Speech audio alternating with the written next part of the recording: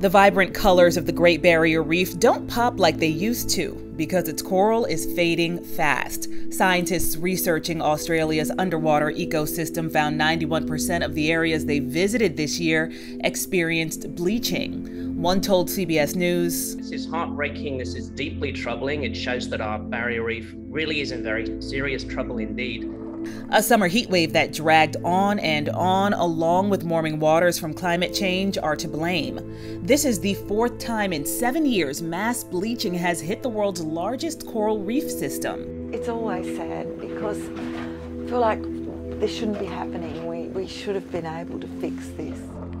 Climate activists are urging Australia's government to do something now to stop the reef's destruction. It is climate change that is driving the bleaching of the reef. Uh, climate change itself being driven, of course, primarily by the burning of coal, oil, and gas.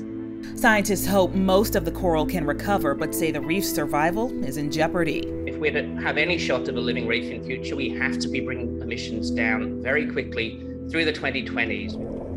Because of the damage, the United Nations Cultural Organization, UNESCO, is considering downgrading the Great Barrier Reef's World Heritage status because of the damage from climate change. For Inside Edition Digital, I'm Stephanie Officer.